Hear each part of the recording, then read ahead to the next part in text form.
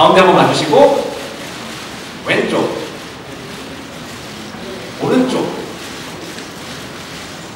아, 오른쪽도 한번 봐주시고요. 예. 아나운서님도 요 운동하면 신입등처럼 디테일을 가질 수 있다. 그냥 잠깐 넣으시고 그냥 저를 바라본 상태에서 앞쪽으로 조금 넘기시고요. 제가 양쪽을 모아서 다 손을 겁먹지 마세요. 쭉 떠보세요. 그리고 다리는 좀 더 넓게 벌려보세요. 네. 그냥 뒤에 투명 의자가 있어요. 이제 많이 앉을 필요가 없이 약간 요염하게 엉덩이를 이렇게 쑥 빼주세요. 네. 네, 제가 대신에 팔을 잡아드릴게요. 조금 더.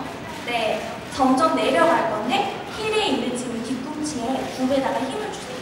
천천히. 더. 힘이 확 갑니다. 오, 힘 확 가요. 자, 거기서 무릎을 좀 더 벌려주세요. 네. 더 내려가요, 더. 그때부터 더 강하게. 벌려주세요. 조금 더 거기서 가슴을 들고 배랑 저랑 좀 더 멀어지는 느낌? 네.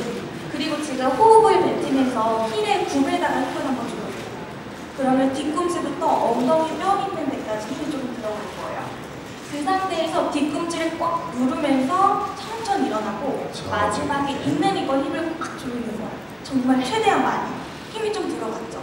그 상태를 유지하고 앉아 계시는 거예요. 됐어요. 네, 올라갔습니다. 예. 이 상태를 유지하고 앉아있도록 네, 엉덩이에 절대 힘을 푸시면 안 돼요. 어. 어떠한 순간에서도. 네, 고맙습니다. 아, 정원 씨, 거북목 좀 필라테스를 이용해서 바로바로 고칠 수 있는 방법이 있습니다. 어, 거북목 가르칠 수 있는 방법이 네. 있는데 제가 네. 간단하게 그냥 보여드릴게요. 아니, 본인이 보여주세요. 지금. 아, 그래요? 예, 보여주십시오. 우리 기자님 앞에서.